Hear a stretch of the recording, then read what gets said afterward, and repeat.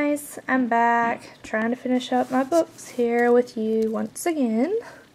I have plenty of books and there's nothing wrong with that. Okay, here are my newest editions of books. So, and I have started reading some of them even though I've not read some of the others I have. But um, I started a year in a day program with Flora Peterson online and if you're hearing a lot of banging in the back, it's my husband. He's in the basement making him a new man cave or something. I don't know. Um, so I've gotten a few books that I needed to get for her class for my year in a day. And then I have some books that I just bought the other day that were actually really good. Okay, I'll go with the books that I'm now reading for Flora Peterson's year in a day per our year in a yay program. Positive Magic by Marion Weinstein. This book has changed my outlook on several things, and I'm not even but into chapter three. Um, she talks about positive magic and negative mag magic. It's not white or black. It's positive and negative, but actually negative magic can turn into positive magic.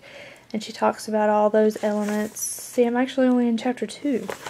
Um, but I'm taking this to heart because this is a year and a day course. I'm in chapter 3. And I've been highlighting and making little marks and things that I think is important.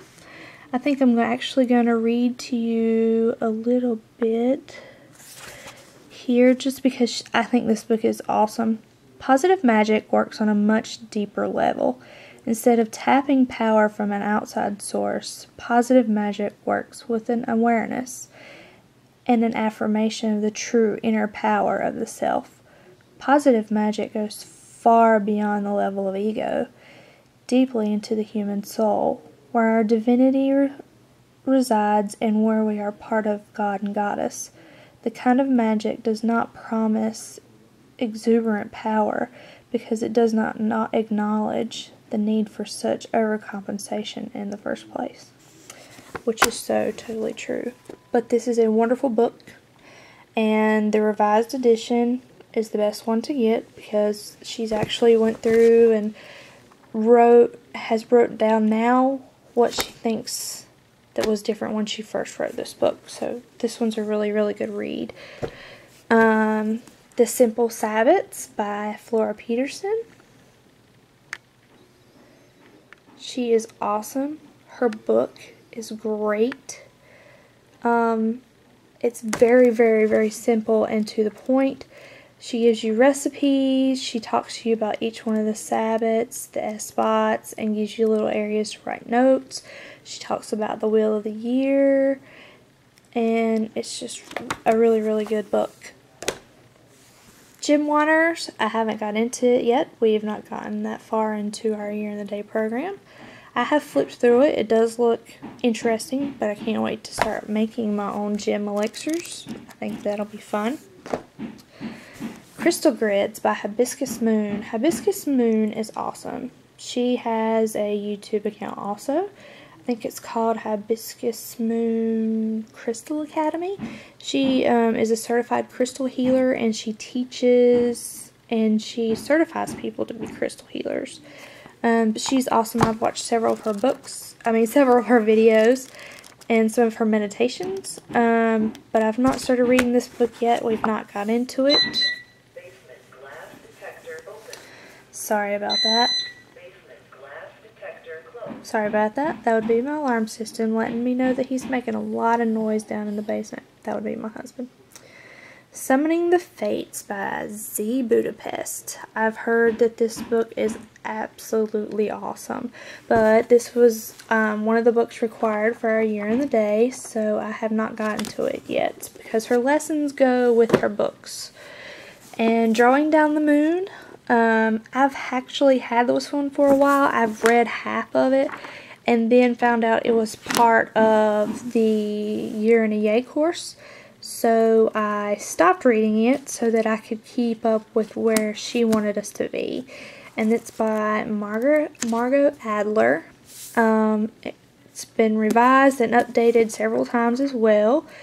Um, but so far, this one's a really good book. She talks more of history. History of where the witches, druids, goddess worshippers, and other pagans in America actually came from.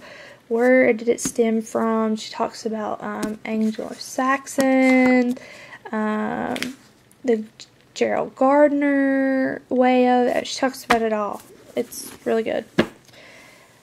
Okay, only got like a few more minutes. Okay, now I bought this one at Barnes & Noble's yesterday. It's called The Element Encyclopedia to Secret Signs and Symbols. This is I thought this would be a great reference book and for $9.98 can't beat that. Because it got it has everything you could think of that's a symbol, a letter, a number, what certain types of clothing means. So this will be a great to grab book. 2013 Witch's Companion. I've actually been reading this and it ain't even 2013 yet. But it's because it is a awesome book. Um, it does have the calendar in here and it wherever it is, but it's in here. There's a calendar in here, I promise.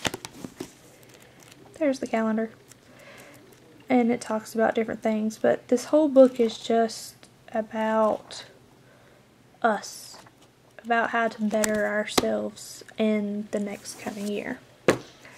If you want to know about your animal totems, this is another great book that Flora Peterson recommends.